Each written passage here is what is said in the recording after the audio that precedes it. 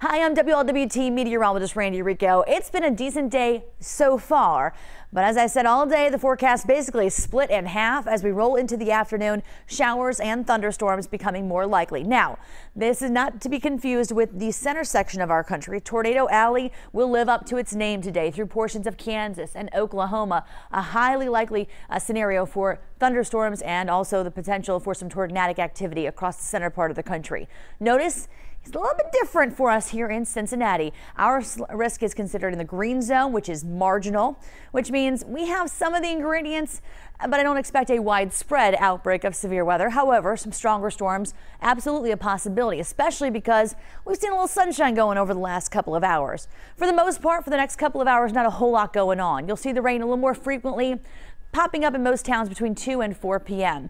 I would expect periods of heavy rain, some frequent lightning, and if we do get severe storms, the chance for hail and damaging winds would be our primary concern, generally a little bit later on into the evening. And Futurecast echoes that between now and say 2 or 3 o'clock, just starting to see the rain pop up here and there. 2 to 4 p.m.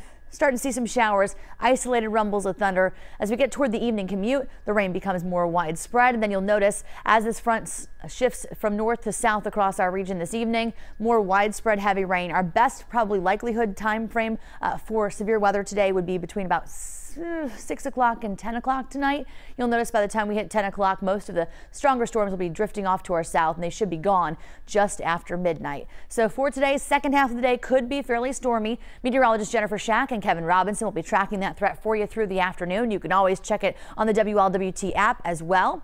Tonight we're dipping down to 55 degrees. Tomorrow, I don't think we see quite as widespread for rainfall. I think we're fairly cloudy through the day, maybe a couple rumbles of thunder in the afternoon. Scattered showers again and some thunderstorms on Thursday. Right now, Friday and most of the day Saturday look good, but for those running in the flying pig, still rain looking likely though. The heaviest rain, the more likely time frame is in the afternoon. We'll have to watch for the timing of the onset of the rain Sunday morning.